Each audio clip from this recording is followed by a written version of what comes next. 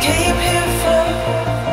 It's a feeling we've been trying to ignore. This is what we came here for.